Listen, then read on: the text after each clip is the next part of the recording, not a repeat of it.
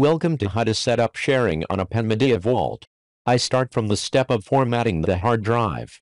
In this case I only use one hard drive. In reality your server may have more hard drives for optimal storage or redundancy. File Systems. Create. Select the hard drive you just formatted. Save. Mount. File System. Select a file system. Completed the preparation steps to create a shared folder. Shared folders. Create. Name. Test. File system. Select the hard drive you just formatted. Save. I have a shared folder. What service do you use that folder for? In this case I choose the SMB service.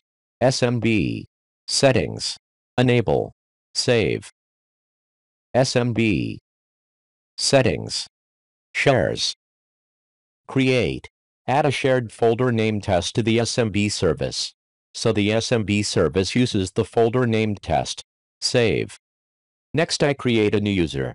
I do not use an administrator account because it is very risky for the system.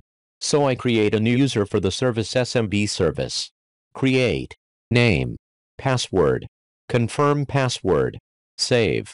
Make sure the user you just created has read and write permissions to the folder named test.